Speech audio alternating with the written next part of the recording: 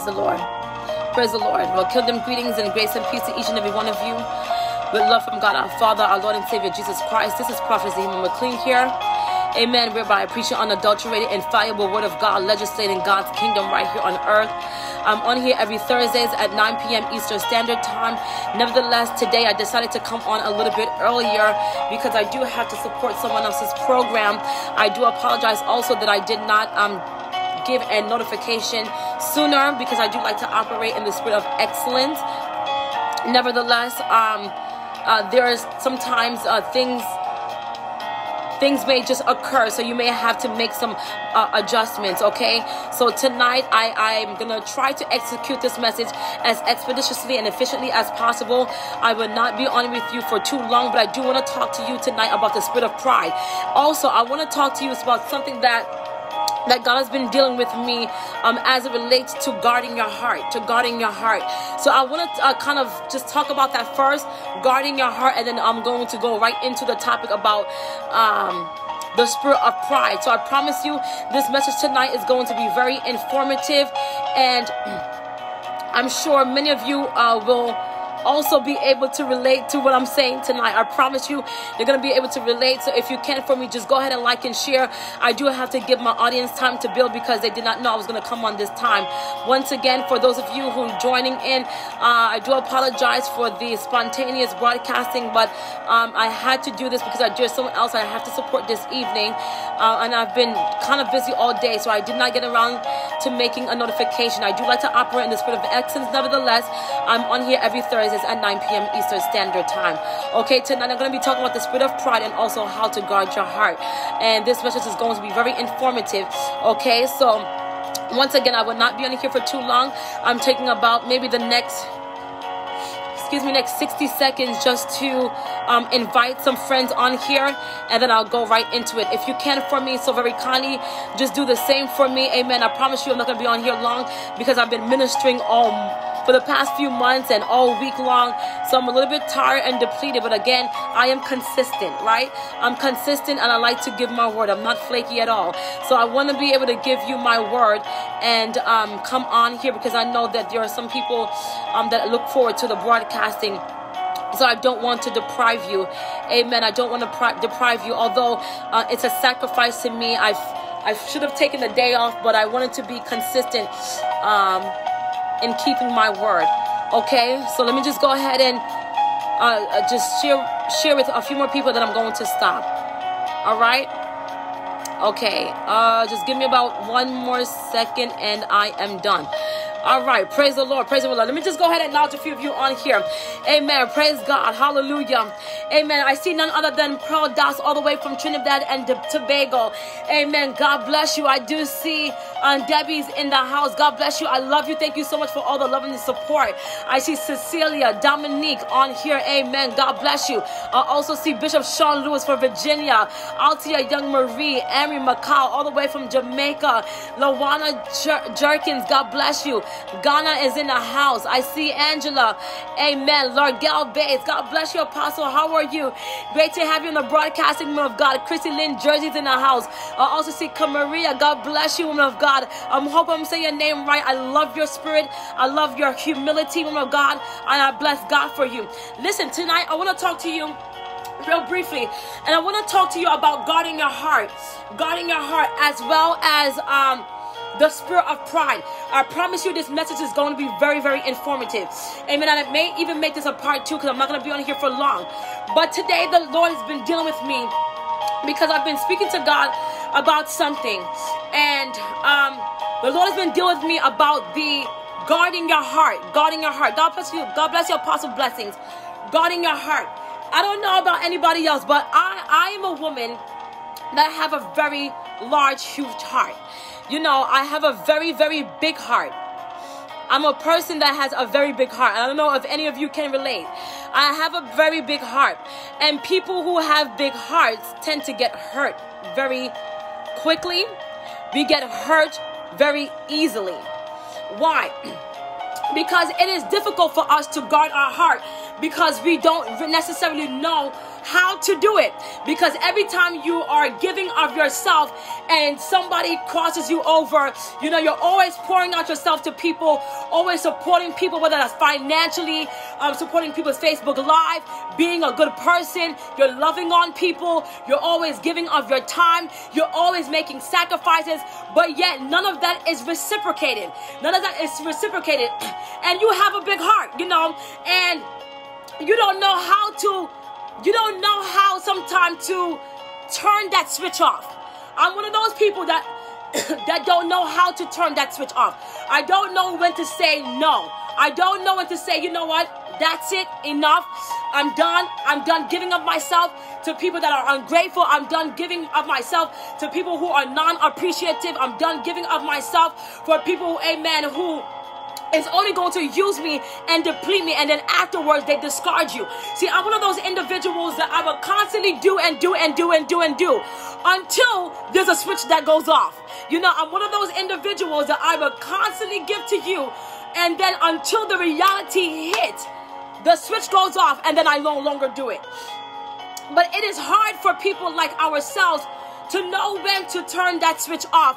Because guess what? You are pure.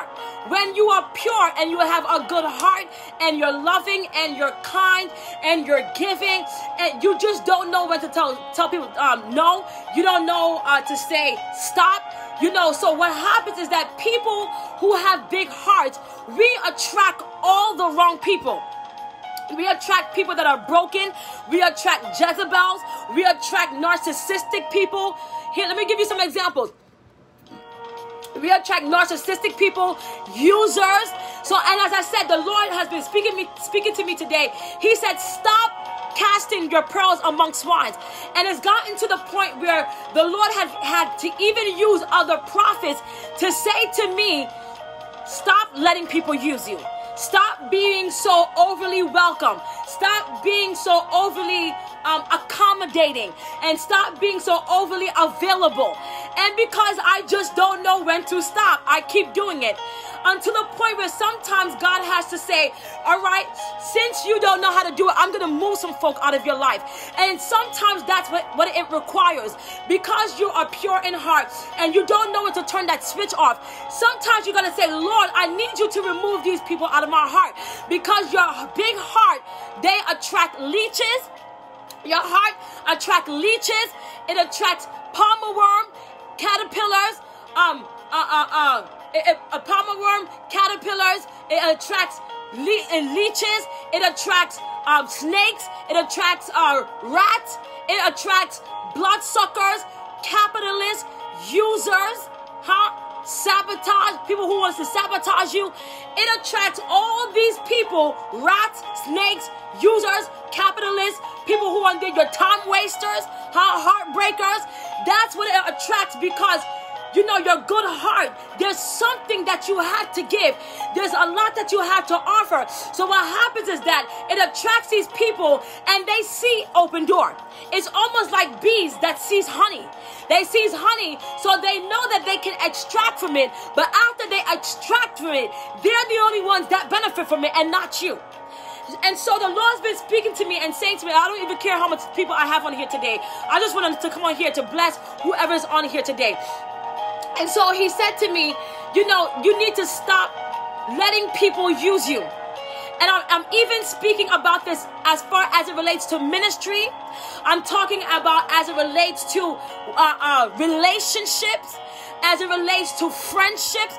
Sometimes you need to say, God, remove these people out of my life because if you don't, what's going to happen is that you'll constantly keep going through heartbreak. You're going to constantly have these folks use up your finances, they use up your time, they use your heart, and they will discard you. And guess what? Half of these folks don't even care about how they treat you.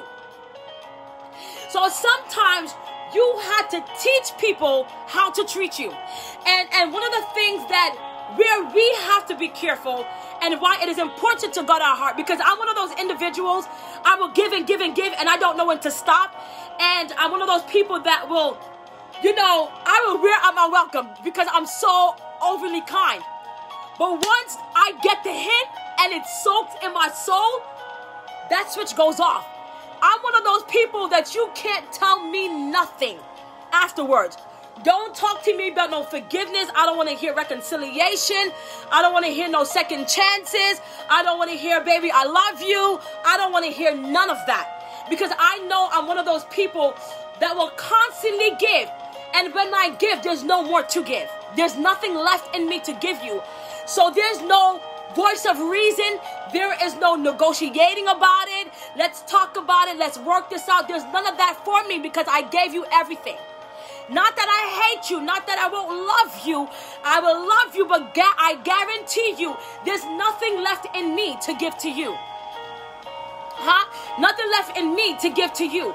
Because if you are not careful, one of the things that will begin to happen, that's right, enough is enough. One of the things that will begin to happen is that they will leave you bitter. Are you hearing me? They will leave you bitter. They will leave you angry. They will leave you uh, with unforgiveness. That's the only reward sometimes good people get. Sometimes you question God you say, God, I don't understand. Is this my reward for having a good heart? The only reward that you will get is being bitter, have unforgiveness, getting slapped in the face, people abusing you. Really, and this is something that I've experienced all my life because of my heart. So I want to admonish you today to be very wise, to be very wise in whom you're giving your heart to. Be very selective in this season about your connections because guess what? Watch this. Everybody don't really want to connect with you because they they um they want to support you.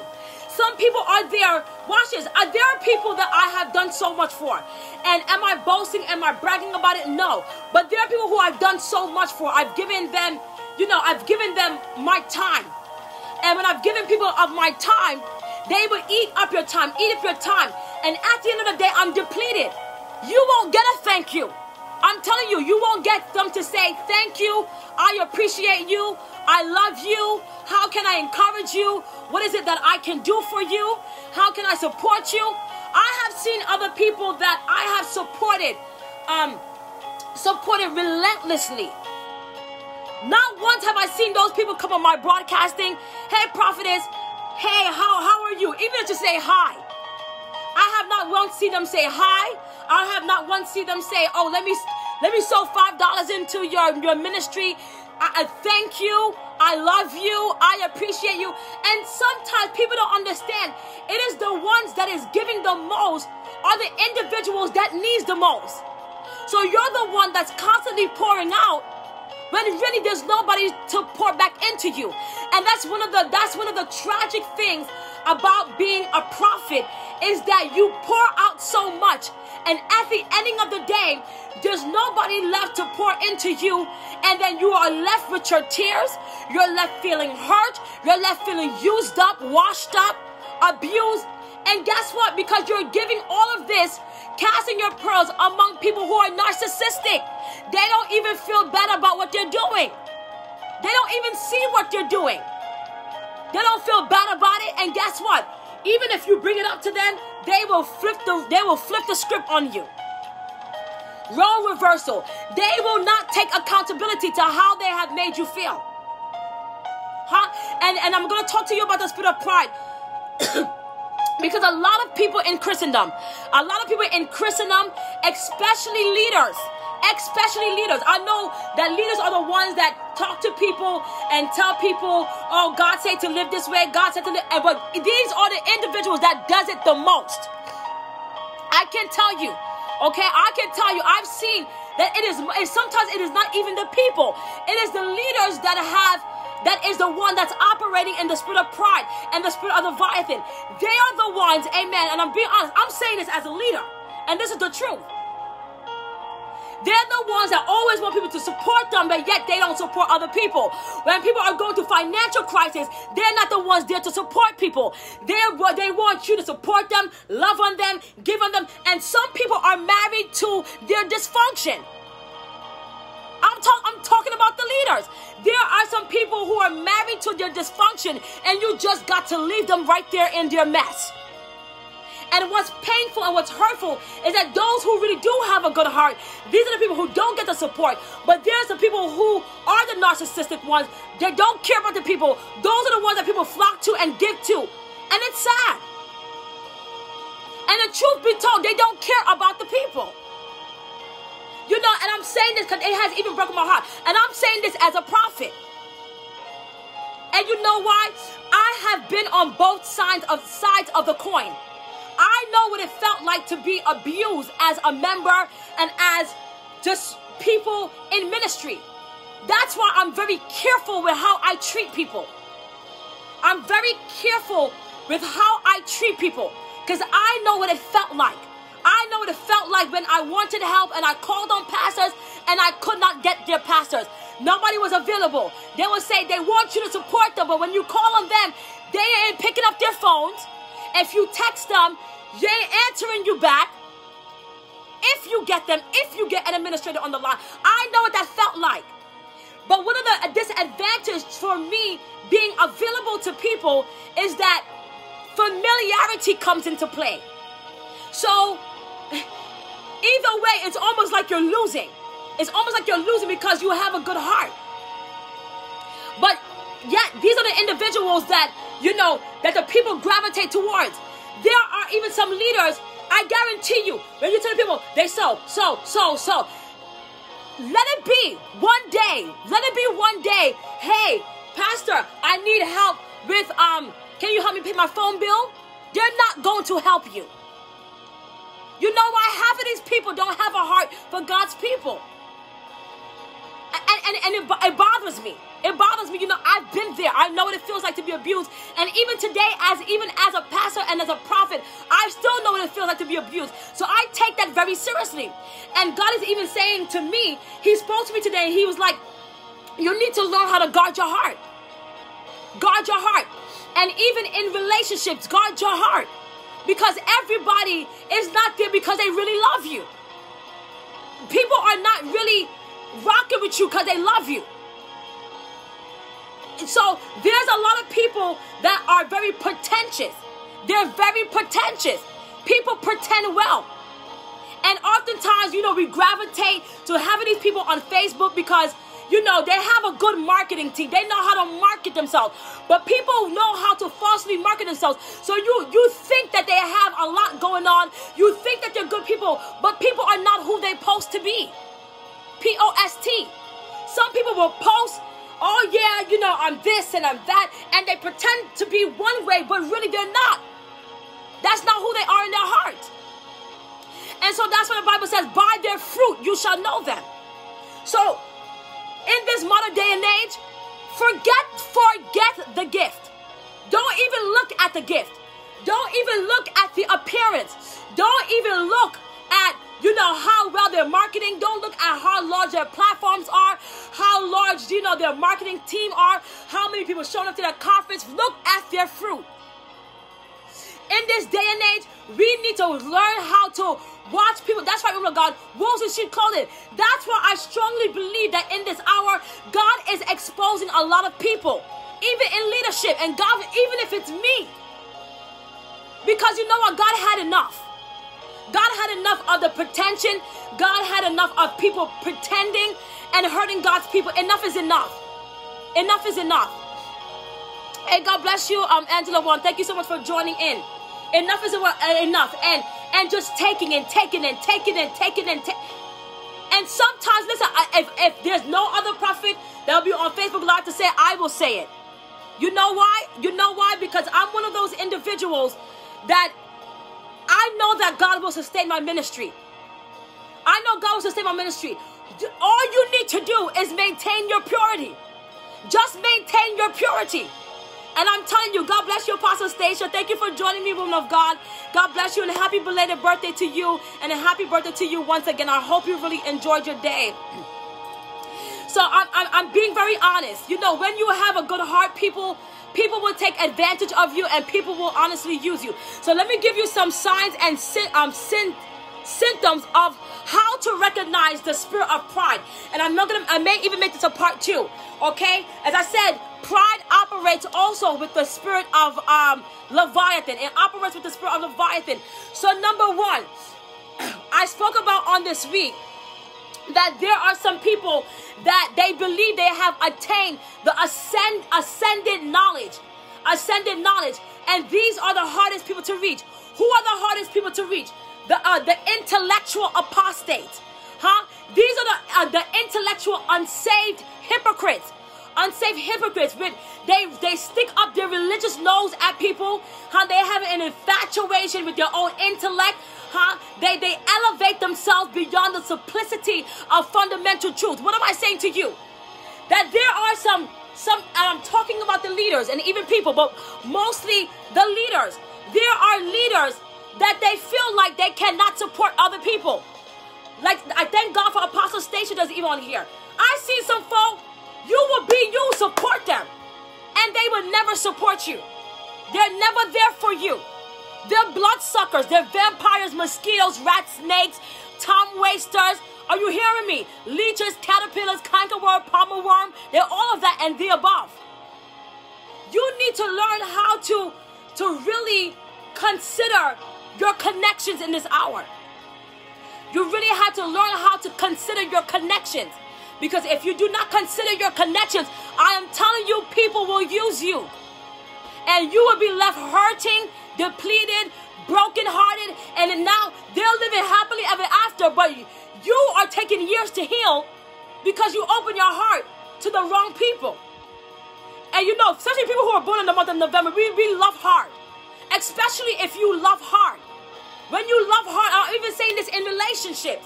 That's why I, I'm very even careful with even about relationships. Because you need to guard your heart. People are not always honest. And it's always, it's always, I'm telling you, it is the ones that you think you can trust the most. Those are the individuals you cannot trust. You cannot trust those individuals. Okay, right. The woman God says, I'm still healing. Some people have been hurt and they're still healing from things that happened 20 years ago. And then now God wants to bless you with somebody. God wants to send new connections in your life. He wants to send you people who cares about you. And now you don't even know how to receive those people. Cause I can't trust people now because I've been I've been ratted on. I've been I've dealt with so many snakes. I've dealt with so much rats, bloodsuckers, time wasters, ungrateful people that I don't even know how to receive the new. So now you have to heal from something that somebody did to you years ago and the trauma. And then guess what? There's some people don't even they even know. I'm gonna tell you the most dangerous people to deal with. The ones who know your pain and still cause and inflict pain on you. They know you've been hurt before. They know that you've been through some things. They know that people have used you. And they're the same ones that will turn around and hurt you again. Again. Because they don't care. They don't care. So I'm just gonna give you some. So I, I don't know if you guys can relate to me. I don't know. Listen, I, I wasn't even expecting. I wasn't gonna come up, but I want to keep my word. Hey, God bless you. I see none other than Pastor Flynn. I'm here. God bless you, man of God. I appreciate you. Thank you for joining me today. So you got to be mindful. And really, what, what's happening is that it's a spirit of pride and narcissism. So let me give you some symptoms of pride. Number one, you know that you're dealing with an individual that has a spirit of pride when they look down, right? They're narcissistic people. They look down on people who are less educated, less refined, or less successful than themselves. I've seen this in church.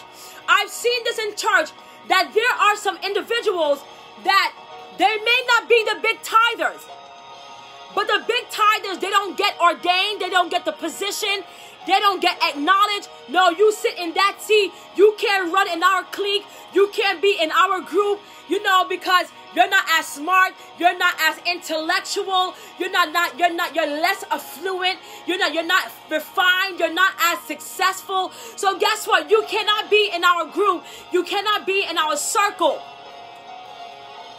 That is demonic. Who gave you that power and authority? Huh? to look down on God's people. If Jesus himself did not look down on people, who are you? How audacious it is of you to look down on God's people. And you even see this with some pastors, with other pastors. Some pastors will never come on your Facebook Live because they think they're too big. They would never say, Howdy, how are you? How you doing? They won't show up in your broadcast and they will listen to you because they know you're really saying something. They know you're about that life. They know you're really saying something. And half of those folks are really learning from you. Half of the folks are really learning from you. They really admire you. They're secret admirers, or either that they're jealous and they will never come on to support you. They will never show themselves to even support you. Hey, God bless you, prophetess. How are you, woman of God? I have, let me tell you, you'll be surprised. I have had some very prominent people.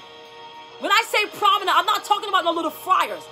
Some prominent people that I know that is on my stuff. They inbox me, they ask me for advice, they ask me for prophetic word, they ask me for counsel, they ask me for prayer, and half of these folks have large platforms and people follow them but yet ignore me. and I'm like, Elmi, if you knew, these same people are the ones who was asking me for prayer. But you know, it's a spirit, right, woman of God, it's a spirit of jealousy.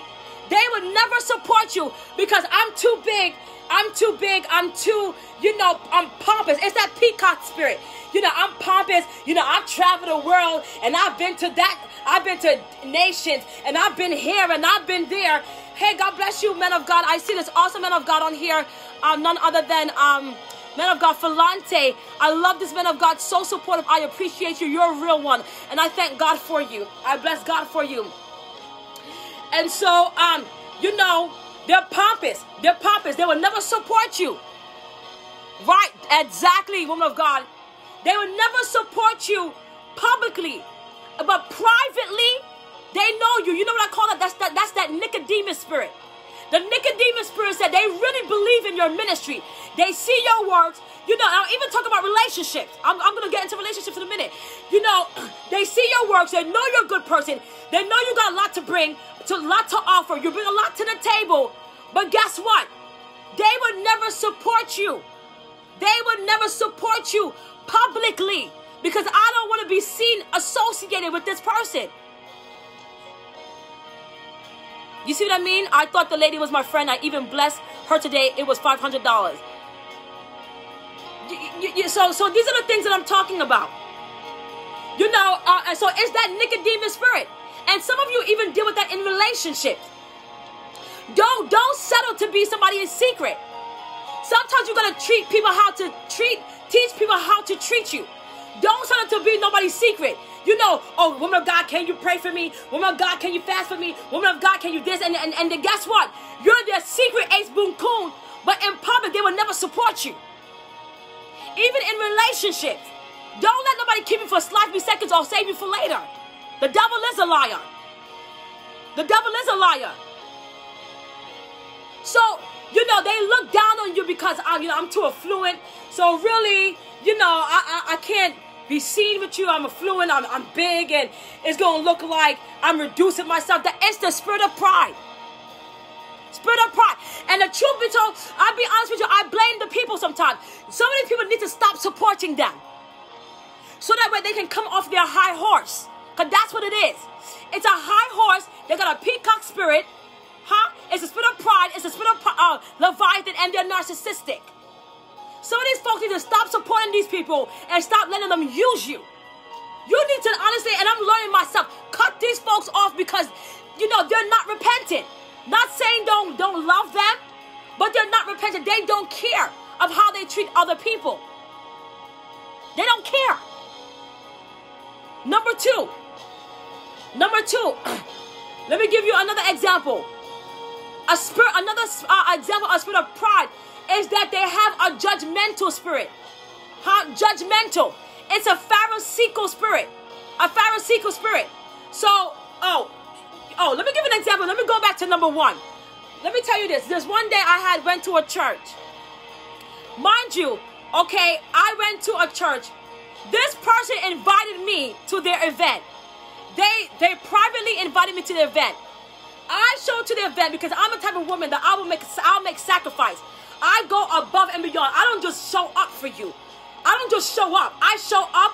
I, sh- I show up and I show up and I, I give.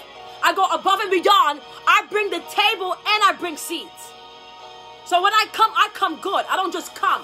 I show up with all the above. And I went to this event, made the sacrifice. I didn't have to do it. First of all, I'm a prophet. I got obligations. I, I, I have a busy schedule too. But I said, you know what, let me cancel my schedule just to go to this person's event. I go to the person's event. I promise you, you have all these these big prominent people in the front. I don't care. I usually sit in the back anyway because I know who I am. I'm confident. And and it's not that I'm looking for any recognition. I'm just giving you an example of how people would treat you. I'm not looking for any recognition. You ain't gotta call my name. I know my name. But it is courtesy that if you invite someone to your event and they show up for you and they support you, and of these folks out who here who you are looking support from, they don't really support you. But the ones who are supporting you, those are the ones that you're overlooking. So I show up to I show up to this dude's event. Huh? I show up to this dude's event, and homeboy didn't even say nothing. Like, oh no, God bless you, prophetess. Thank you for coming. I'm glad you're here. I'm glad you showed up. Nothing. Homeboy was like, just gave me a quick little. I said, I guarantee you'll never get that opportunity ever again in your life to invite me to a, not another one of your events. I promise you. What am I saying? Is that anger and bitterness? No, but you teach people how to treat you. What am I saying to you? what am I saying to you? Is that sometimes, you know, you show up for other people. Maybe you have an event. Maybe you're opening a business. Maybe you're in a relationship. And if you find that you are the one who's putting in all the work and all the effort, but yet there's no reciprocity, that is when the time you need to take a step back, reevaluate that relationship or that connection, and disconnect yourself. Because every relationship, amen, that has true, authentic love will be reciprocal. See, you can't fake that. You can't fake sacrifice. People can fake, they can fake words. They can, they anybody can say, yeah, I'm love you, I, am with you, I rock with you, yeah, I'm loyal to you, yeah, yeah, yeah. See, you can do all of that. But when it comes to making sacrifice, when it comes to making sacrifice, that's what I want to see. When you make sacrifices, then I know what you say is real. When your actions matches, watch this. When your actions matches your words, then I can I can have a measure of confidence. Confidence. I didn't say trust. Now let me tell you how I know I can trust you. I can trust you when I see patterns. Now, you nowadays you can't even trust actions, and I'm gonna tell you why. Nowadays you can't even trust actions because people pretend well. I'm gonna say that again. Nowadays you can't even trust actions because people pretend well. So you have to now watch patterns.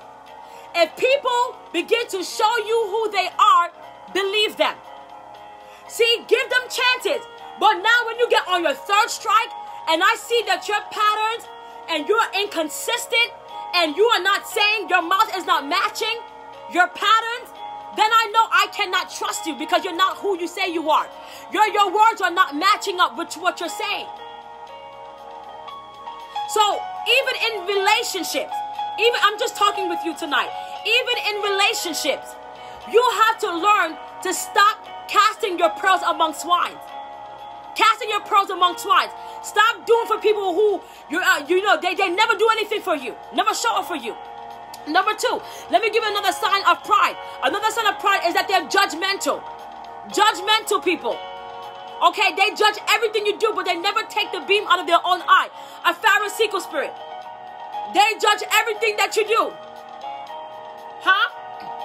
They judge everything you do. I don't know if you've ever been there. I, I've I've I've had people judge me because of my appearance. You know, um, I, I, I even remember I've dealt with situations, and I'm just talking tonight. I've dealt with situations that sometimes people think that because you have a certain appearance, that you don't have a good heart, or you're not who you say you are. And let me tell you something. Some of the people who have the biggest hearts are the ones that are unsaved. I am telling you, some of the most trifling people that you can meet are those that you believe that, that, that has the collars. trifling. They're not real. They're not even about that life. Huh? and so, those are the ones that's unsaved. And I'm even talking to the women, even in ministry too. There are some even women that are, are on the broadcasting that are single. That are single. And you may be saying to yourself, you know, um, oh God, please bless me with a, a, great man of God. Lord, I want him to be an apostle. God, I want him to be a prophet. God, let him be a pastor. Let him be. Let me tell you something. Those are the most rotten people you can find. I'm telling you, Dihima's been there, done that. These are some of the most rotten people you can find. All the ones in ministry. I'm telling you, I'm talking. I'm telling you my testimony tonight. Things that I've been through in the past. Even some women are in ministry that you know you might be single and you're saying, God, oh yeah, you know, I want a man, you know, that uh, that he is an apostle, a prophet, and trust me, half of them are sleeping around, half of them is talking to 10 women at the same time. That's why they can't settle down. They're talking to 10 women at the same time. They're sleeping around, huh? They're fornicating. They can't make up their mind. They're double-minded. They're inconsistent. They're liars, haters, cheaters, huh? They go around playing with innocent women. If I can be real, if I can just be honest and real, I've been, I've dealt with that before. I've dealt with that before. So a lot of times you think that it is these people that looks like you know they're spiritual and oh no they won't do this. Yes, those be them same ones. I'm telling you. That's right, my cousin Cheryl is on the line. Amen. God bless you. She said they are no different from the ones outside of the church. Let me tell you something. I'm gonna be uh, if I can be honest with you. There are some men that are outside of the church. They're not saved. They have better hearts than the, some of the men that are in the church. I'm not lying to you. I've seen it. I witnessed it in my own two eyes. They would have better intentions for you than some of these people out here. I said, as I said to you, of them sleep around. They are, uh, um, they're, they're fornicating. Got ten women talking to ten women at the same time, gaming people, hurting people's heart, breaking people's heart. Where's the integrity? Where's the integrity? Where's the honesty? And I'm being real. So sometimes, you know, people look at the appearance and, and, and it is the ones that is outside of the church are the ones you can trust mostly. I'm being honest with you. I'm, I'm talking about ministry related, and also these are the biggest hypocrites that you, the big, you say you have got to have spiritual discernment concerning these men. Yes, you do. Yes, you do. Because I'm gonna tell you. Let me tell you something. Half of them, when you finally get into a relationship with them, that's when, that's when they start changing colors on you. Some of them, even when you marry them, they're, they're not who they say they are. When you finally make the commitment to these individuals, they're not who they say they are. You know, I've, I've, I've, I've, there's this one woman that I, I've counseled once, and you know, her, her, her and I, am not disclosing name. I'm just telling the, the, the situation and the testimony. her husband was supposedly a man of God, and he beat her up every night and was cheating on her. I mean, this man destroyed this woman's life. And if you are not serious about the person, don't go around destroying people if you are not ready for them. Don't go around awakening people's soul, playing games with people if you're not ready for them. And it's sad, and I take it to heart because I minister to some of these women that are broken. What this poor woman, you know, she had nine kids for this man and just, just completely love her. So don't, you know, don't awaken a person so if you're not ready to love them, if you're not going to be real. If you're not going to be honest, if you're not going to pastor them the way you should pastor them, then don't allow them to become your members. If you're going to be in a relationship with somebody, don't awaken a soul and give them your word and give them your commitment and you play games with it. Don't do that. Because there's sometimes it takes people years to recover, and you don't know who is on their last thread. You don't know who's on their last thread. There are some people that they might have said, you know, you don't know who's dealing with depression. You don't know who's dealing with anxiety. You don't know who's dealing with suicide. You don't know who's de- and then when they finally open up their heart and they trust you again, you're no different from the other perpetrators. Now, where do you leave that person? Where do you leave that person? Now it's like you cause trauma to that individual. Because now I don't know who to trust. And I don't know, I feel like I'm ministering to some women tonight, maybe even some men, because there are some men that, that are broken too. I don't even know where I'm going in this direction. But I believe that I'm speaking to some people on the line that are broken. Don't awaken a person's soul if you are not ready to love them. And if you no longer want to deal with that person, be integral. Don't ghost don't ghost people. You know, I'm like, you know what? I don't know if I'm ready for this, so I'm gonna ghost you. Let me just kind of disappear. Let me go off in the wind. That is not integral. Because guess what? Now you you make the commit with the person, and the person now is starting to enjoy your company, and then the person's starting to get to know you. And let me just disappear. And then now here you are. You're left with the thought, God, what, what happened? What did I do? Now you're like, God, what did I do wrong? Is, is there something I did wrong? Is there something wrong with me? Am I cursed? You know, did I say something wrong? And then now you feel the guilt. And that's what they. They played a guilt trick. Narcissism. She said, True, I see a prophetess come on alive and dis- disgrace her prophet's husband.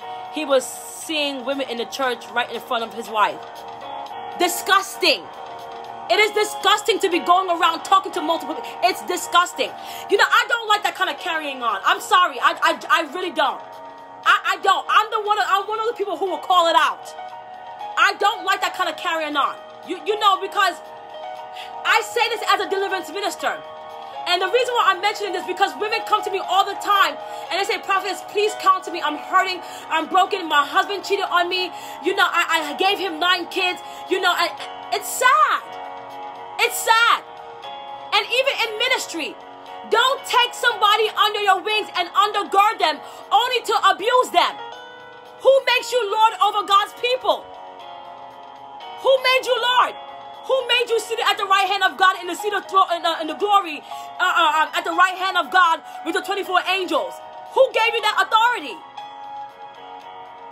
You know, I, I try to be, I, I'm trying to be as diplomatic as possible, but this stuff, it really breaks my heart. It really does. You know, and, and so it's a spirit of pride. It's a spirit of pride. And I'm telling you, it's like I, I saw this one woman, she was just so broken. I mean, this man destroyed her life, destroyed her life. Somebody said, I just came out of that. You know, it's it just destroyed her life.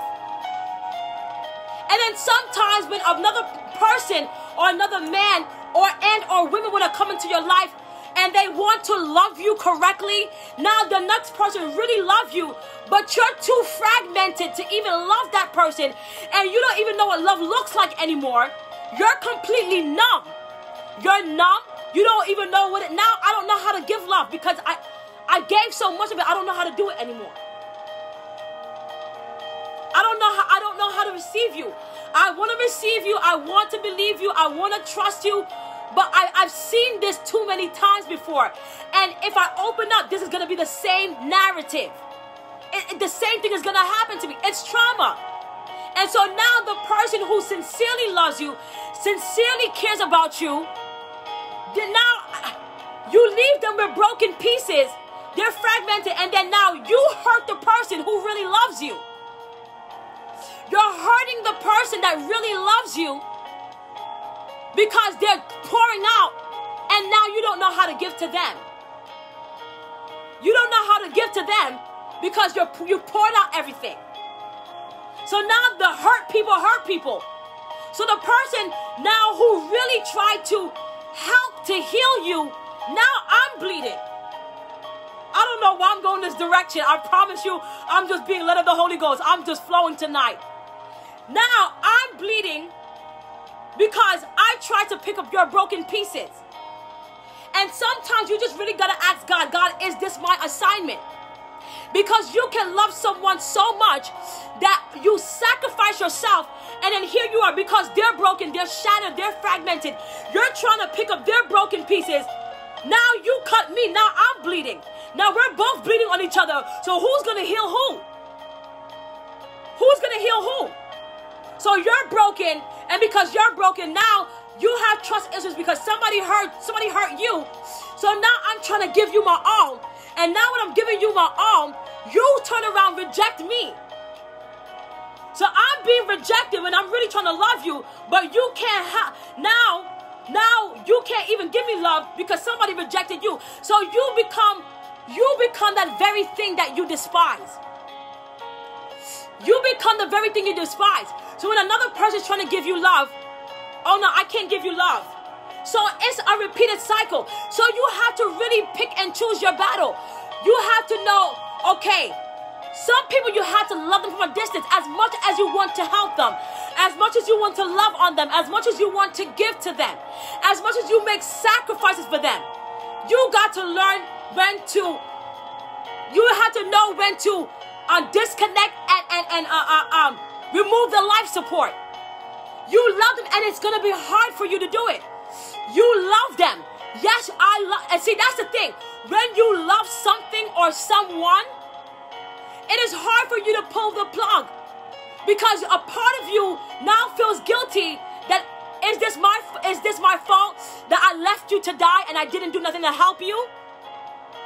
You're gonna feel like that. You're gonna feel like, oh my God, I abandoned the person. I pulled the plug on you and I left you to die and I wasn't there for you. But guess what? If you don't pull the plug, then the both of you die. so then you have to start thinking self-preservation. I love you, but I, I, I, this is not my battle. It's not time for me to die yet. Maybe you're dying. I can love you from a distance. I can help you from a distance, but it ain't my time to die yet either. You know, you're bleeding, but why should I bleed? You know, I'm not guilty. I'm not the one that hurt you. I'm not the one that abandoned you. I'm not the one that rejected you. And the crazy part about a person being hurt is that they return back to the very people who are hurting them. They go back to the same thing and the same people who are hurting them. So you know what? I don't really want to pull the plug. So now, watch this. It's almost like a person who's onto life support. You know that that person is dying and they're on life support. And guess what? You know that they're suffering. You know that they're suffering. And then you, you, the doctors are telling you, pull the plug because they're suffering. But every time you go back and see them, you're going to suffer too. It's going to hurt you to pull the plug, but at least eventually you'll get over it. But if you if you keep the plug and they're dying, they're suffering, and then now you go to the hospital every day seeing the same person that's broken.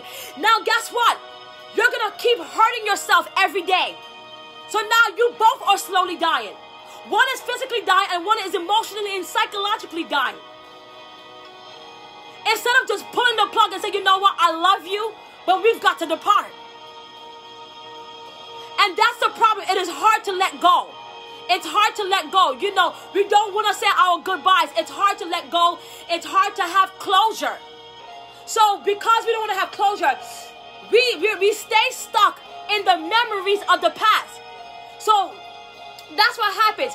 Some of us are married to memories and we're not married to our now. So guess what? Our now suffers because we're still in covenant with our memories. And that's all it is. It's memories. Memories has nothing to offer you. Memories have nothing to offer you. Some of you are in relationships, whether it's with your children, whether it's in relationships, whether it's with ministries, you're stuck on memories. Oh, I'm stuck in the good times. I remember when, yeah, that brother, you know, he wined and dined me, and we had a good time, and we shared good words. But guess what? You, you are not at that place. Or maybe it's a woman. Maybe that woman loved on you, but guess what? You're not at that place anymore. So here you are, you're stuck psychologically in your mind. When God is saying, hello, hey, your future is right here. Your future is now. Your future is right in front of your face. And God is giving you your now season. He's giving you a new blessing. Maybe God want to give you a new man. Maybe God want to give you a, a, a new good woman. Maybe God wants to give you something new. A new church, a new church home. He wants to give you a new life, a new beginning. But I'm so stuck in the past I don't know why I went in this direction. I really don't. But I'm so stuck in the past that I'm married to my memories because those were so much good memories and I just don't want to let it go. So watch what happens. Because you are in covenant with your past, what happens now is that what God wanted to give you has has a time frame on it. A time frame. Because we operate in time and seasons. Huh? Chronos time and Kairos moments. So now we operate in time and seasons. And God's saying, here is the blessing. and one of the things that we do, we have the blessings, but we do not take the opportunity at the blessing that God is giving us. Because I can't see what's in front of me. How can you see the blessing in front of you if you're still looking back at the past? You can't be in two directions at one time. So now you're you're, you're double-minded. I, you know, I want this, but then I want this. You know, I miss this, but then I want this. So now you don't know what you want. You're double-minded. And God said, I'm trying to bless you. There's something new I'm trying to give you. This is gonna bless you real good. And this time I'm gonna make it right. But now I'm stuck in the past. And I can't see it. I can't see my blessing. I can't see what's right in front of me. Huh? I cannot see what's right in front of me because I'm married to my memories. Married, married to my memories. And guess what? Because we love that thing so much, we keep returning back to the thing that's hurting us. And we know it's hurting us. We know it's hurting us. We know it's that's the thing that caused you to bleed. That's the thing that caused the trauma. That's that thing that caused the pain in your life. And guess what? I, but I, I just love this, and I can't I can't let it go. So guess what God does? That very thing that you put on hold, or that person that you put on hold, God takes it and give it to somebody else. So now, not only did not only are you hurting now, but you missed your season. You missed your breakthrough. You missed your blessings. And you missed what God had for you because you were worried about what you had. Let me say that again. You missed what God had for you because you missed what you had. You missed it. And I'm talking, I'm even talking about people who's been in relationship, in relationships. God want to bless you with a husband or wife. But I'm so stuck on, you know, you know, um, let me be careful with names. You know, uh, brother so and so, you know, boy, you know, I can't get my mind off of this one. And God was like, no, I'm trying to bless you with this too. But nah, you know, he was real street. He was real, you know, I like this personality. And God's like, I want to give you somebody that's going to romance you. I want to give you that someone's going to love you. Or maybe it's a, a, a, another person. You know, that woman treated you bad. She was a Jezebel. But I want to give you somebody who's a wife. You know, you're used to stripper women, but I want to give you a woman that's a wife. But no, I, you know, I'm so used to the stripper because the stripper, you know, the stripper woman, you know, she she made me feel good and bad. But but what what happens now when you can no longer do the things that you used to do? I don't know why I'm going this way, but what happens now when you can no longer offer services to the stripper woman and your benefits run out? Now you need a wife that will really take care of you. So I, you know, you you so used to the thrill. I was talking about pride. I don't know I went this direction. I'm gonna go back there. So you're so used to the thrill, and that's what happens. And I see this also with good men and good women. Good men, good men and good women. You're a good man and a good woman, and you're like, okay, yes, here I am. But they will dish you for somebody who won't even care about them. Huh? Especially even with women. You know, they want women to be a certain way, big, bad, bougie. I want them stripper women. You know, I want them Cardi B's and I want the um, Nicki Minaj and I want that WAP and I want it. Guess what? I bet you when you don't have no more money, I bet you when you're probably sick, I bet you when you go through all of that, who's going to be there for you? Now the thrill and all your benefits done ran out. Guess what? They're to leave you right with all the stuff that left you or even with or even with men. God wants to bless you with a good man, but guess what? I can't get past this one. And God's trying to send you like someone who's going to romance you and treat you well. But no, he's too soft. No, he's too, you know, he's too simple. No, he's not a prophet. No, he's not an apostle. No, he's not a bishop. He doesn't have a big accolade. He's the average Joe, but I guarantee you, it's that average Joe that he's gonna come home every night and he won't be cheating on you. He's gonna come home every night. He's gonna come home to you and to you only. He's gonna give you accountability. He's going to respect you. He's going to love you. That's why I'm a woman. I'm not even overly selective. Yes, I have standards, but I have learned as I've matured as a woman. I don't know why I'm going this direction. I have matured as a woman. Don't don't be looking for all the extra stuff.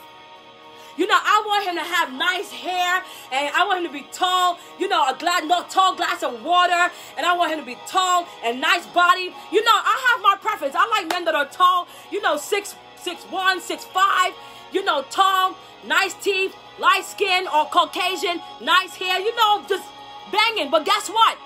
Those be the ones that don't treat you well. They talking to you and 10 other people. And then maybe this man, he's an average Joe. Maybe he just looks normal. He maybe not the, the uh, or he or she maybe not be your preference. But it is God's perfect will. But your pride is in the way. Your preference is in the way. That you can't see the perfect will of God standing right in front of you. So now when somebody else gets the blessing that God has for you, oh God, you know, nobody loves me. Then here you go again with your pity party. Nobody loves me. People walking out my life. Nobody cares about me. Nah, nah, nah, nah, nah. No, you just like your dysfunction. That's what it is. You like your dysfunction. So God will allow you to he will allow you to stay in your dysfunction because every time God is trying to set you free, you go back to bondage. You know, you like that Egyptian, you had that Egyptian mentality. You like bondage, you like chains. Truth be told, you like, you like, you're so used to um somebody talking down at you. You know, if a if a man or woman come into your life, or even a pastor, you know, you ever see some people in churches that some people are in churches and the pastors treat the people mean, but those are the ones you respect. Yes, pastor. Yes, master. You respect those pastors. But the one that's really loving you, hey, you know, um, how are you? I'm just checking on you today. Oh yeah, Prophetess McLean, I'm all right. Yeah, uh-huh. But then you complain nobody's there for you. Or maybe God sends you a real friend, but you're not used to having real people in your life. That now, every, when a real person comes to your life, now you're suspicious. So a real person comes into your life now, and they check on you. Hey, I'm just checking on you. How are you? Are you okay? Just want to tell you I love you. I appreciate you. Thank you for everything you do. I honor you. Now you look at that person like a nuisance. Oh my God, that person is so annoying. you know why? Because you like dysfunction. You like change. You like bondage. And sometimes you got to let them have it. So people can learn how to treat you. Sometimes you got to let things go. They take it for granted. You got to let them go so they can know what they had. So that when they come back, they're like, wow, this person was really good. But if you keep giving to them, they will never value you until you let them go. They will never value you until you let them go. I'm, I'm telling you the truth. I'm telling you, relationships, you know, I've seen even seen some pastors just, just absolutely mean to people. There are people who I called on, and I say, I, I'm calling them and say, hey, you know, I'm just checking on you. I'm gonna give you an example. I say, hey, so and so, I'm just calling to check on you. That's one of the things I do. I check on people all the time. Hey, I'm just calling on checking on you. See how you're doing. Hey, woman of God, I'm doing well. I'm, I'm gonna be sowing my seed. That's insulting. I didn't ask you for no seed. You know why? Because you're used to being abused by those other pastors. That now, when a real person calls you and they're genuinely checking up on you, you automatically think see, That's insulting to me. I, am not asking you for that. I care about you. I care. I'm not asking you for any of that. Or maybe you have a friend. Hey, I'm, I'm checking on you. Um, are you okay? Oh my God, what does she want now? Uh, what is she? First of all, you should be grateful somebody checking up on you. You should be grateful that somebody cares about you enough, amen, to reach out to you. Taking the time out of their busy schedules but we go chasing the ones that don't love us. We love who don't love us, and who love us, we don't love. Let me say that again. We love who don't love us, And those who don't love us, we love. So now when we stop caring, because I done gave you everything now, when we stop caring, Lord, look, you keep tossing me to the side, you keep kicking me to the curb. So guess what? I'm not welcoming you. I'm gonna stop doing what I do. Don't get suspicious now. Don't think that, oh, guess what? Oh, see, now you're mean. You don't really care about me. You said you love me. Oh, see, oh, you used to be nice. Yes, that's why I used to be. So now that when you set boundaries and you teach people how to treat you, and when you set boundaries now, oh, you changed. Yes, I did change. Because I'm not going to let you hurt me. I'm not going to let you continue. I don't care if it is your kid, if it's your boyfriend, if your girlfriend, and if it's your family, if it's your pastor, if it's your friends, stop letting people use you. Stop letting people use you. And it's the truth. I really hope I'm help. I don't know. I don't know why I went into this direction, but this really, you know, this was on my heart today because the Lord said to me, He said to me, guard your heart. Even up, I was just about to come on the broadcasting. Another prophet texted me and he said, you know, the, the Spirit of the Lord said to share this message with you. Message with you. When God, the Lord says, um, stop letting people use you. Stop let the man of God. I never had a conversation with this man. Stop. So we love who don't love us, and who we love, who we love don't love us. Sometimes you gotta learn how to remain exclusive. Let them miss you. Set your boundaries and let them miss you. Teach people how to treat you. Because when people show you huh, who they are, believe them. And when people show you their true colors, stop trying to repaint them. Oh no, but they're not really like that. You know why? Because you can't, a part of you can't accept the reality of what you're seeing. Now you're seeing true colors. You don't know. You can't accept the reality of what you're seeing. So you're saying to yourself, you know, um, no, they're not really, you know, not really like that. No, they love me. So then now you start lying to yourself. you start lying to them. They love me. No, and they they they don't really mean it. They don't. They no, it's not that. They don't really mean it. Maybe I should continue supporting them. I should, should continue. And they're telling you, they're telling you either blatantly, they're telling you either blatantly, verbally, or they will even tell you in silence. Do you know sometimes people talk to you in silence? The fact that they don't talk to you anymore, they are telling you they don't care. The fact that people don't exchange words with you anymore, they're basically telling you you no longer have significance in my life. Sometimes it is okay. Take your L's and go. Because eventually, the people, those people will realize that you were sincere and real. Take your L's and keep it moving. And guess what? Stick to the ones that love you most. People that love you most, support them. You know what I do? Iron sharpen iron. The ones that support me, those are the people I support. Sometimes I used to support everyone. Oh yeah, Dihima's here. Yeah, yeah, I'm here for you. Guess what? I'm learning to start to match energy. Man, that's right. Read between thin lines. You know, read between thin lines, and they're, they're telling you, I don't really, I don't really like you like that. I don't want to have nothing to do with you, really. But here you are, you're expressing all your love to them. Uh, they're giving you half change, and you give them your all. You don't deserve that. I'm talking to somebody out here, and I'm even talking to Dihima. You don't deserve it. You deserve better than that. You deserve wholeness.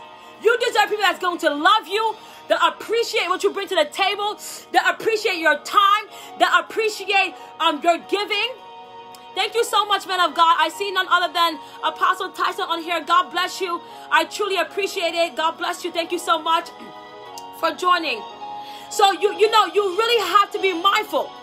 You've got to be mindful, and, and it's it's sad that it is mostly even the pastors that truly care the pastors that truly care about the souls of the people, that care for the people, guess what?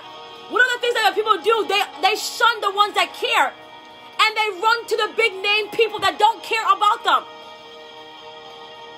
Are you hearing me? Some of these international speakers that are on the large platform, they don't know you.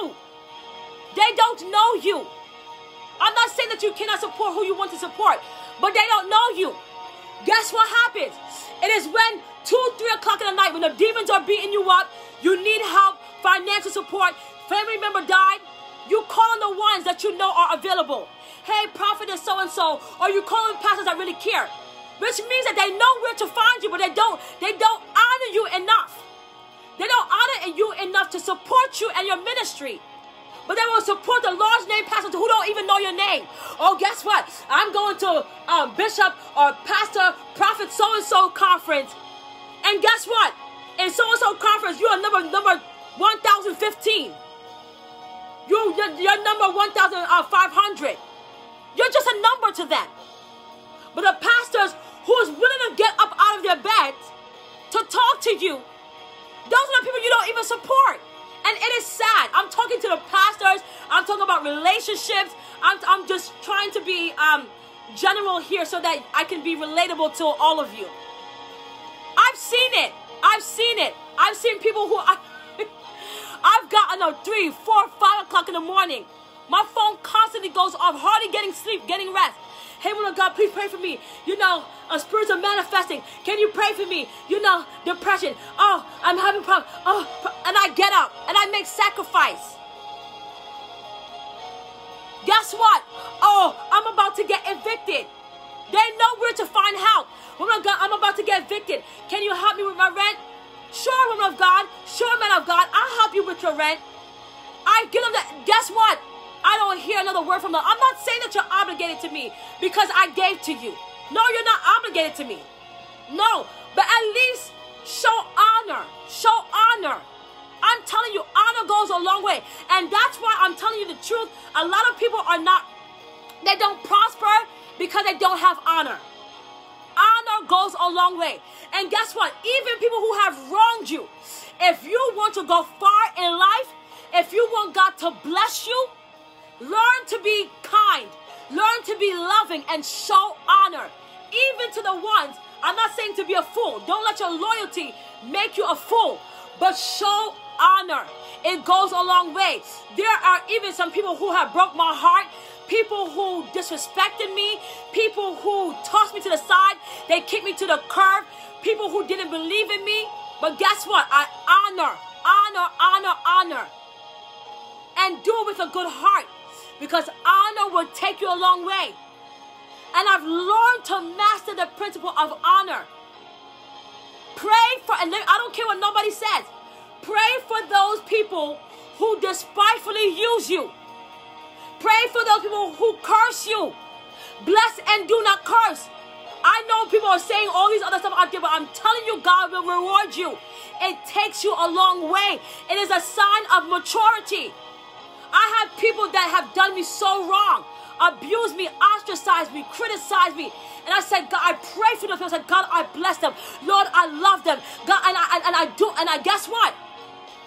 The moment, at one point, I used to be like, you know what? I don't like those people. I don't want to have nothing to do with them. I don't care about them. And guess what?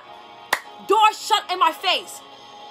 And I was saying to myself, God, I wonder you know, why is that my ministry is not being blessed? This was a season in my life. Ministry is not being blessed? God, what's going on with my ministry? You know, why doors are not opening? Why can't I finish school? Why can't um my finances are not are flowing? What's wrong with my finances? What's wrong with my relationships? God, what's wrong? God says your heart, your heart, you had unforgiveness in your heart. You wasn't right. I'm talking this a while ago. You wasn't right. But God, these people hurt me. They hurt me.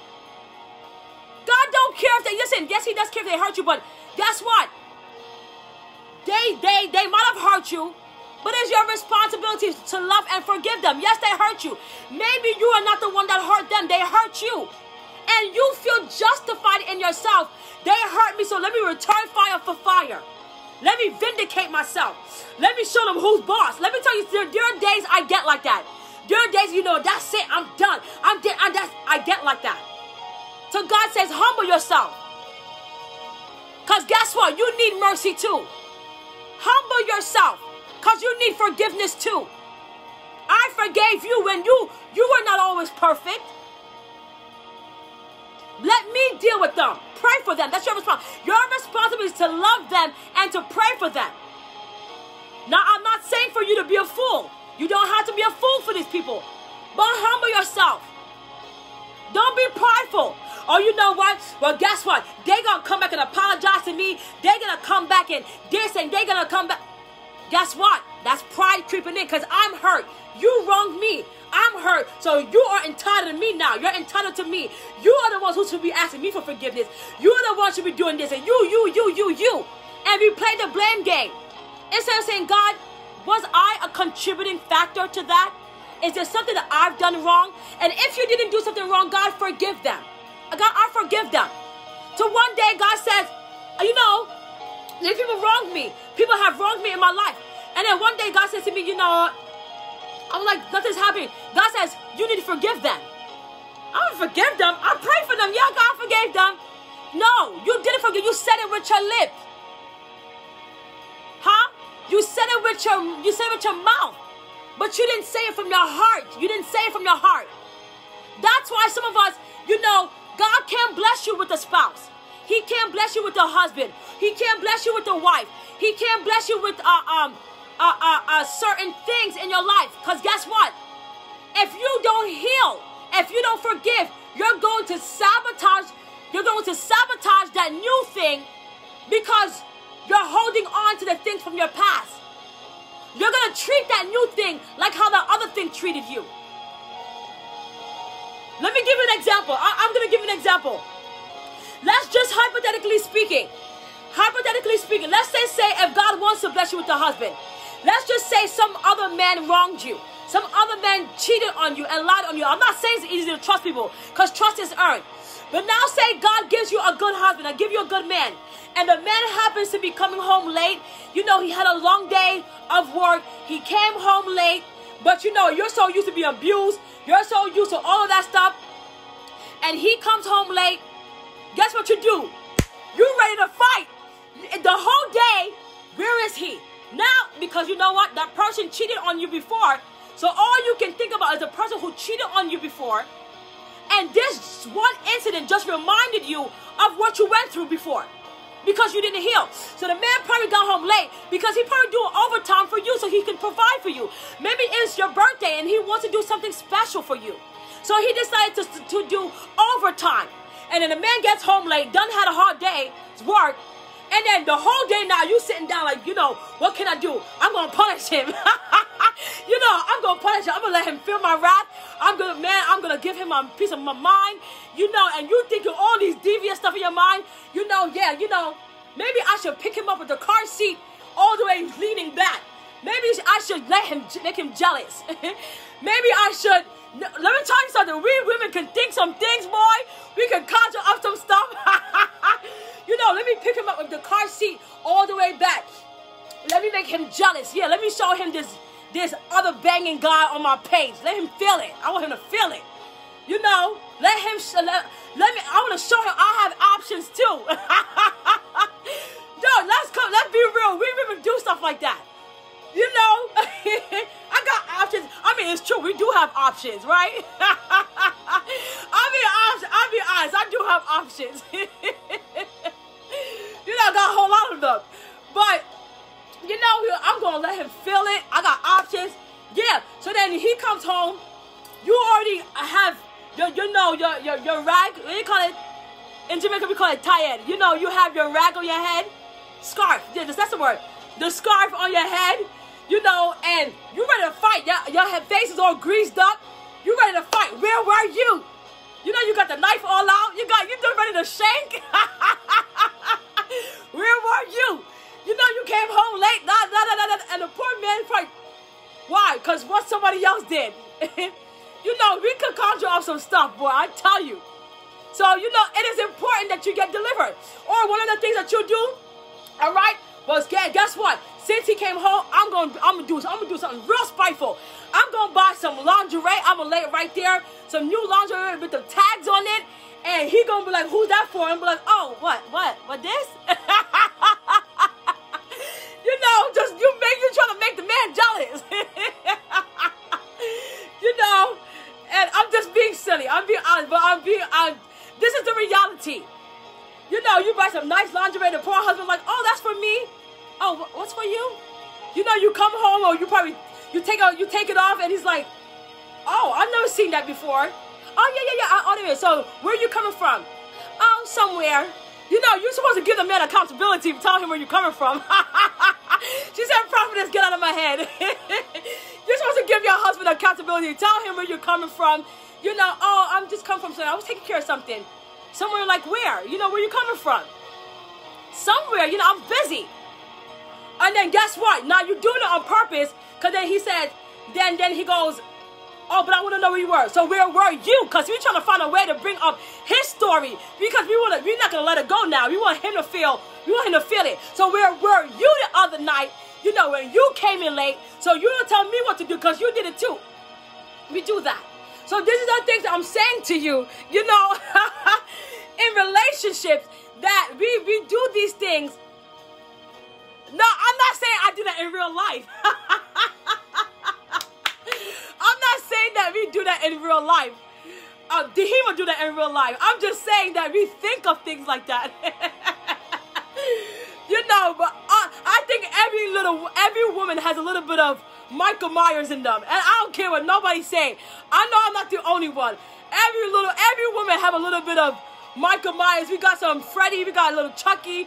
We got some Jeepers. We got a little bit of that in us, if you would be honest. He said, "Oh my God, that's live though." no, no, the brothers, y'all got it too. No, don't even try to put it on the sisters. I'm not trying to make this a relationship segment. I promise you, the next Thursday, I'm gonna stick to the topic on the spirit of pride. I will. The topic was supposed to be on the spirit of pride. I was going to talk about that. I don't know why it went this direction. And I may talk about a little bit of stuff. I'm gonna come up here in the next maybe 15 minutes. But um, you know, the, the brothers do it too. The brothers do it too. Uh, so you, the, you know, uh, Bishop, you know, don't make it look like us women are the only ones. Because one of the, let me go to the brothers. One of the things that the brothers begin to do, right? You know, you'll play a woman, you'll play that woman, huh? Or you'll act like you don't care. But the moment the woman's showing you that she got a replacement, that's when you lovey-dovey again. Y'all lovey-dovey again. And, and then guess what? Then you oh, who is he? You know, oh, who is that dude with the slick hair? You know, oh, who is that dude? Who is he? You know, oh, oh, you know, you're trying to play me? So no, don't act like, you know, don't act like you didn't care. Oh, so you do care, but you just, you just was trying to say it though. You know, so the men do it too. We're not the only ones. he said, I went there because the spirit wanted it to go there. so, but guess what? This is all relating to the spirit of pride. And we do that in relationships. We do that and we do where the spirit of pride will not make you say, you know, honey, I'm sorry. I was wrong. You know, I was trying to make you jealous. I was wrong. I shouldn't have done that. no, we don't want to say sorry. We don't want to express our feelings. We don't want to be sentimental about it. want to be sentimental about it. We don't want to say, especially men. Those old, you know, Bishop, y'all, y'all the ones that got the egos. You know, you don't want to say, you know what, yeah, I, I, really do love her. I really do, you know, I really do care about her. Y'all, y'all, y'all will, y'all will fake the funk and act like you don't care. But the moment that woman starts to go left or uh, have a replacement, oh, oh, oh, oh, no, no, no, no, I, I didn't care, you know. You know, but really, that it's pride. It's pride instead of saying, you know, I really do love you. I really do care about you. Um, you know, I really do want to be with you. But hey, honey, this is how I'm feeling. You know, sweetheart, this is how I'm feeling. Uh, let me just tell you what's in my heart. Let me communicate what's in my heart, you know, about you. He said, I've been delivered 25 years now. Well, I praise God. or instead of that woman saying, you know, I'm sorry. You know, you know you was wrong. You know you wronged that man. You know you made him feel bad. But instead of, you know you was trying to make him jealous. Instead of saying, you know what, I'm sorry. I, I didn't really mean it. Us women, we don't like apologizing. You know, I, I, I'm sorry. I didn't mean it. I wasn't mature. You know, I was wrong. I misjudged you. It's pride. And let me tell you something. I'll be honest with you. A lot of relationships end not because uh, two people, not because two people are, um, not because two people are not in love with each other. They end because of they, they end because of pride. So sometimes the greatest um distance and and uh distance between two people is misunderstanding. Misunderstanding, ego, pride, lack of communication. Sometimes God is like, you know what? This is the people that you need in your life, but it's misunderstanding, ego, pride. I'm telling you, pride is a killer. Pride is a killer. Pride can kill your ministry. Pride can kill your calling. Pride can kill your relationships. Pride kill friendships. man, I'm telling you, pride is a killer. It will kill everything if you uh, would allow it. So pride is very, very serious. Pride is a very serious thing. Let me give you another point, and I'm gonna be on here for another one, number ten more minutes. I'm gonna disconnect, guys. If you have any questions for me, as I said, I wanted to just come on here tonight. I really wasn't planning to, but I wanted to keep my word because I am consistent. I'm loyal. I'm faithful to what I say. So I wanted to be on here with you guys. um, and so if you have any questions for me, please let me know, and I promise you I will answer those questions. Um, maybe some of you also, as I'm compelled to say this, some of you are probably are having a hard time trusting again. But you know what? We have to start the healing process. You have to start the healing process. You know, I, have been through some things in my life, and I'm like, oh, God, I don't trust this person. I don't trust. But the healing, and guess what? When you pride will allow men and women to put up walls. I've even seen that in relationships, in ministry, in any form of connections. You put up walls, and the walls keeps people out. And then one of the things that we do, we say, Oh God, you know, people left my life. Nobody love me. They rejected me. They're not here for me. God, they don't care about me. Oh, you know, and, and guess what? You get all bitter, but you're bitter because you're the problem. You're the one that's dysfunctional. You know, because guess what? You're the ones who put up the wall. I'm not saying don't listen, guarding your heart is different from building walls. I'm gonna say that again. Guarding your heart is different from building walls. When you guard your heart, you act accordingly, you move with wisdom. But when you are building walls, you keep everybody out. So now, you know, nobody love me. The world rejected me. Oh, everybody's wrong, and I'm so right. I'm the victim, and look at me. I've been crying. Poor little old me. Pity party, pity me. No, you build the wall. And so when God is saying, "But I send you the boat," But you don't want to get on the boat. I send you destiny helpers. But guess what? You're so dysfunctional. You have that wall that guess what? I'm not willing to take a risk. And guess what? Love is a risk. Starting a business is a risk. Huh? Uh, uh, starting a ministry, joining a ministry, trusting people. That's all a risk. The, but watch this. The greatest risk is to take no risk at all. And guess what? You live and you learn. Sometimes you gotta you gotta you gotta take your L's and learn from it. Turn your wounds into wisdom. Guess what? So sometimes what you thought was a loss was really a lesson.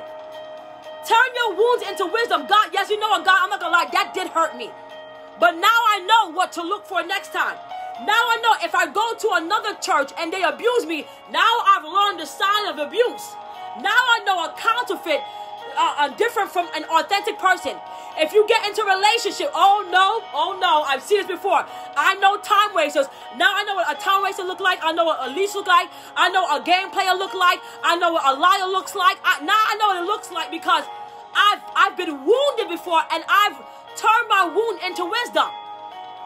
But one of the great greatest risk is to take no risk at all. That when somebody really wants to love on you, or when God wants to give you new opportunities, give you new opportunities, new blessings, newness, new beginnings, that you build a wall so fortified that not even God can get through to you.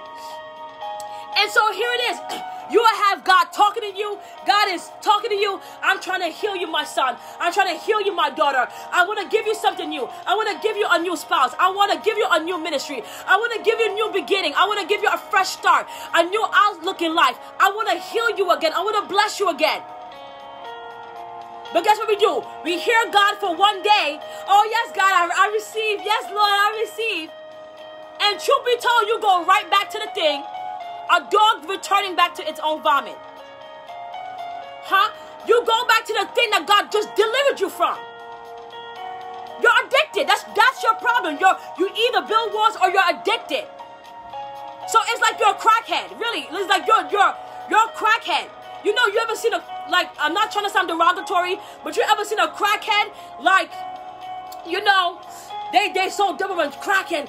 You know, the crack makes them. They know crack is bad, but the cracks make them feel good because they give you a high. That's how we are in relationships. You know, that person made me feel good, so you know you're on crack. You know, you feel it gave you a high. You feel good about that, and God's like, this is not good for you. It's, it's killing you. It's poisoning you. And you heard God, oh yes, you know, I want to stop. I'm gonna go to rehab. And you go to rehab one day spiritually speaking, emotionally speaking, psychologically speaking. You go to rehab one day and oh yeah, I'm in rehab. Yeah, I'm in rehab. I feel good. Day two, dang, you know. Yeah, I'm in, I'm in rehab. Yeah, yeah, I'm, I'm like. Guess what? Now you're going through withdrawal symptoms and you start itching. you start itching now. You know, you start getting itch and the, the chills and sweat and cold sweat. That's what we do in relationships, in ministries, in situations that we know is like crack. We know it's not good for us, but we go right back to it. And we have withdrawal symptoms. And God says, look, the withdrawal symptoms is going to hurt you. the withdrawal symptoms going to hurt you. Guess what? It is going to hurt, but it's going to also heal you. But you cannot go back to that place where I have delivered you from. I want to give you something new. And guess what? Sometimes we allow our preference to get in the way of God's perfect will. God is saying here, I am giving you something that I know is good for you. Even relationships. You know, I want that woman. She big, bad, and bougie. You know, I want the I want my woman to be like this. I want my woman to have certain accolade. But you're not seeing that maybe that woman's not good for you. Maybe it's the woman that's gonna, you know, she's humble. But guess what? She's powerful at the same time. That's the who's gonna be there for you when you go through trying times. She's gonna rock with you. But we don't want that. Even there are some men that are honest men, good men, average Joe. You know, they may not have the six figures or you know six feet tall, but you know what? They will love on you. So don't let your preference make you miss God's perfect will. And then we can't blame God. Oh God, you know, I'm waiting. I'm waiting for the right man. Uh, God's gonna you're gonna sit right there waiting because I done send you somebody. I done send you destiny helpers. And now you let your your season oppor- and opportunities pass you by. Don't blame me. Now you crying back to me. Don't blame me. No, you're gonna wait another 40 years in the wilderness. You're gonna wait another 40 years and you're gonna wait a whole other season until you learn your lesson. Watch this. I'm gonna tell you what God would do. Sometimes I promise you, I'm going to say this and close it out. I'm going to drop a bombshell on you. Sometimes God will give you your preference in a package that you don't like. Mm. Listen, I'm going to drop that bombshell. Sometimes God will give you your preference in a package that you don't like. So watch this. God says, What if I give you a woman? Huh? I give you a woman. She has every quality that you're looking for but I'm going to package it in such a way that you can't see it unless you are spiritual enough to inquire of me to see it. So God said, you know what, this is everything you're looking for. But I, am gonna, I'm gonna, I'm gonna, I'm gonna distort it. I'm gonna tweak it just a little bit, just to see if you're still shallow, just to see if you're prideful. Oh, but God, I want this and I want that, and God says, okay, I'ma see. I'ma see what you're gonna do. But you know what? Your blessing was disguised in a different package, but you were too shallow and too prideful to see it. You were too broken to see it. I was trying to give you what you want, but I packaged it a different way just to show you that you really didn't get deliverance. I'm showing you, my son, my daughter, you really didn't get the deliverance that you needed. my best friend is typing me while I'm on the broadcasting. Please leave me alone. Pastor Grace, please leave me alone till I get my broadcasting. so sometimes um, God will God will package it differently just to show you you didn't get your deliverance. You're still not healed. You're still not delivered. You still, you know, you're still shallow, you're still prideful. And I gave you what you needed. Pastor Grace, stop starting trouble, please. I gave you what you needed in a different package. But you missed it again. Because you still didn't learn your lesson. And you know what? Guess what? This package is going to go to somebody else who appreciate it. Because you're not humble enough to receive it. You're not delivered enough to receive it. Are you hearing me? Are you hearing me? And guess what? Sometimes here's, here's another thing God's gonna do. I'm not gonna force it down your throat. But guess what? If if God gives somebody a gift and they push it away, do not blame that person that they left you. I'm gonna say that again.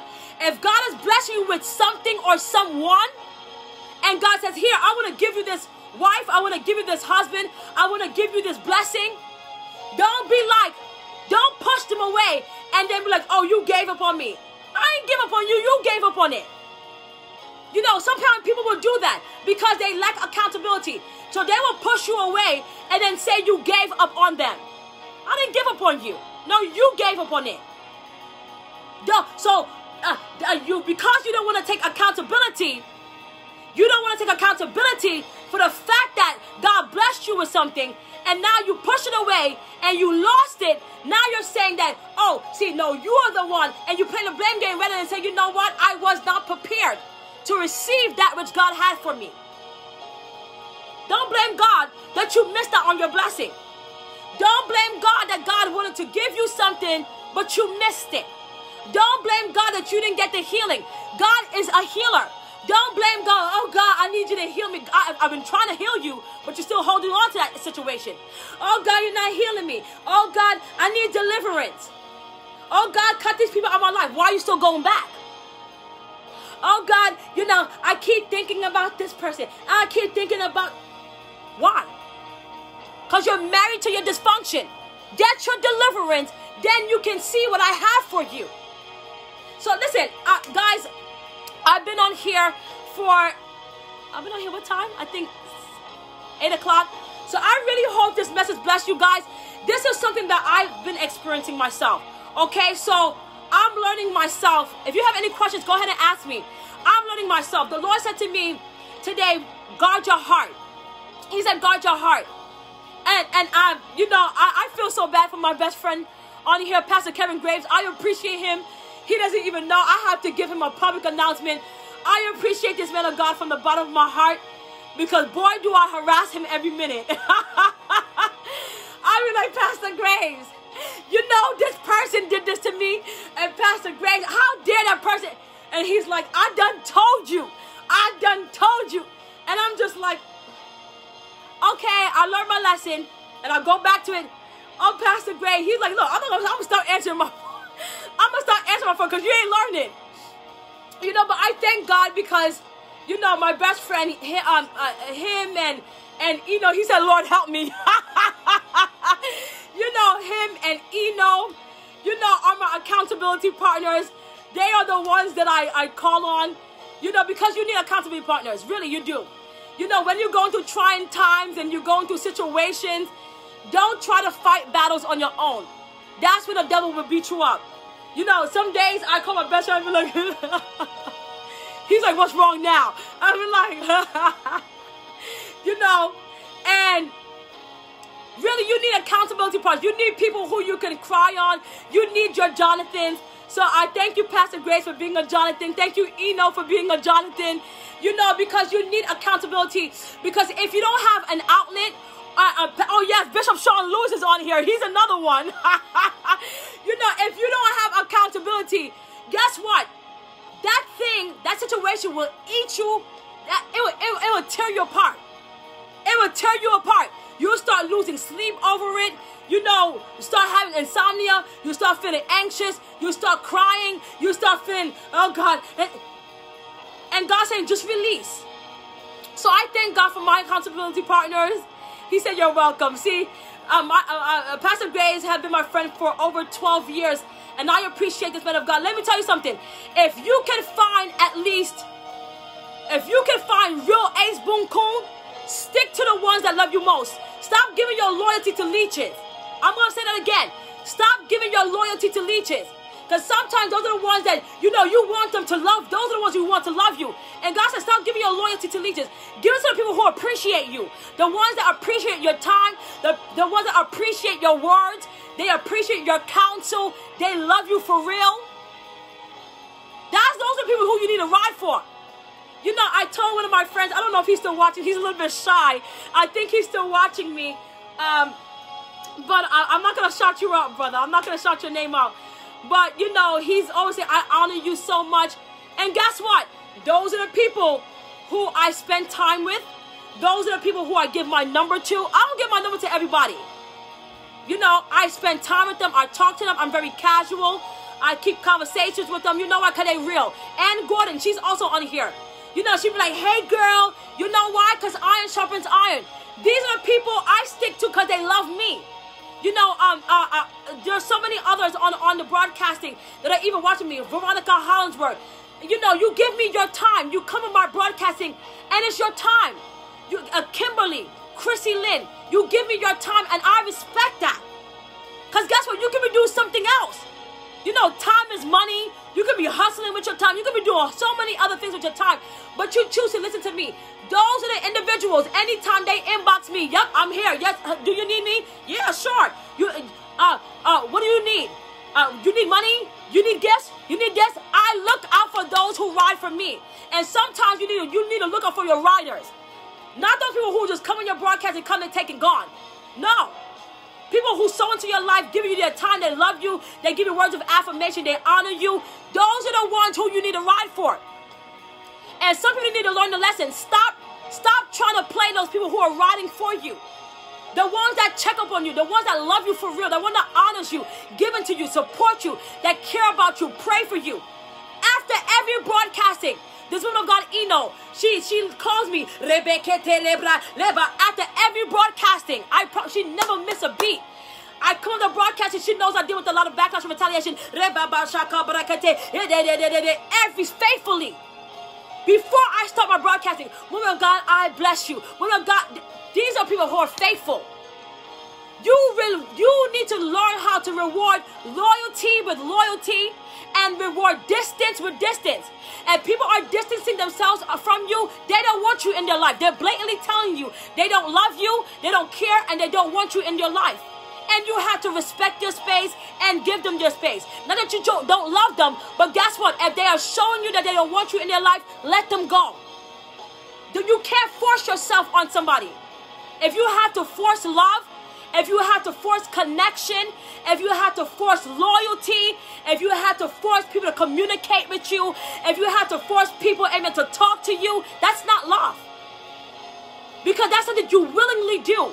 If you have to pull teeth, like, listen, you know, if you sound like some kind of orthodontist or something. I'm pulling teeth, giving you an extracting. Oh, do you love me? Do you care? Uh, do, do, can you call me? Can you communicate with me? Can you get? That's not fair. If you are giving everything to someone and they're not doing it for you, how is that fair? How is that even love? I'm not saying they may not care about you, but how is that how is that love? Love is not what it says, love is what it does. Okay? Love is not what it says, love is what it does. Don't tell me you love me, show me you love me. Show me in your giving, show me in your time, show me your sacrifice. You know, show me that every time Hey, how about some days that you call me? I'm always calling you. How about you call me? Hey, prophetess, are you okay? Hey, prophetess, you know, I just want to let you know I was thinking about you.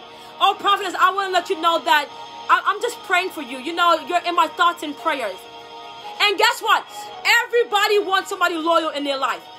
Oh, you know, I want real loyal people in my life. I want people that care about me. I want real people in my life. And guess what? The moment somebody, God sends somebody real in your life, now you don't know how to handle it.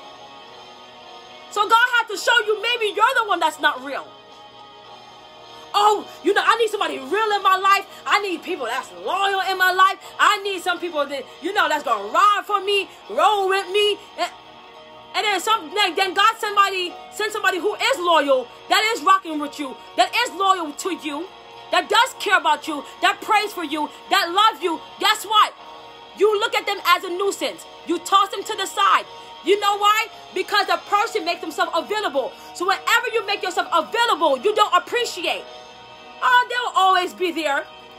Uh, so you they'll always be there. Oh yeah. Stop letting people treat you like treat you like sloppy seconds. That's that's not fair. That's not fair. So sometimes you can love these people, but you have to also protect your heart. So listen, that was my message for tonight, guys. I appreciate you guys. I- am gonna make this a part two. I hope this message has really ministered to you. I wanted to talk to somebody, and listen, this is my way of venting. You know, because uh, I, I also had to. If I can have a moment of transparency, I had to vent. You know, something I, I experienced something today, and it really it really, it really pushed me to the Baja. It did. You know, boy, did I want to, I wanted to be the, Dihima in the past today. I wanted to be so bad. I promise you. I wanted to just go. I told my friend, I said to my friend, boy, I want to go Brooklyn, Bronx, Queens, Compton, and Chicago, South, South Central, South Style on this person so bad. I wanted to do it so bad. I wanted to go straight Compton, Bronx, uh, uh, all that. Chicago, Brooklyn, Queens, the gutter. I want to get gutter. I want to get dirty with it. And, and, and the Lord says, you best to not. And my friend's like, you better not. Because you know what? I have integrity and God's remind you, sometimes God remind you who you are. And I say, you know what? I'm better than that. Lord, I forgive them. Lord, and I said, you know what? Let me just go on Facebook Live and talk about this because I know it's a good relief. It's a a breath of fresh air. And I know that people can relate to this. You know, because I'm telling you, and I'm gonna say this in closing, people with big hearts, we do too much. And my best friend said to me one day, he said to me, he said, if people didn't ask for your help, stop giving help. If people didn't ask for your prayer, stop asking for prayer. If people are not communicating with your stop doing just stop stop being so overly giving. And I'm like, I don't know how to do it. He, there's no shaded areas for me. There's no gray areas. I don't know how to be. I, I only know how to be white or black. I don't. Eno said it to me. I don't know how to be gray because I'm real. I just don't know how to do it.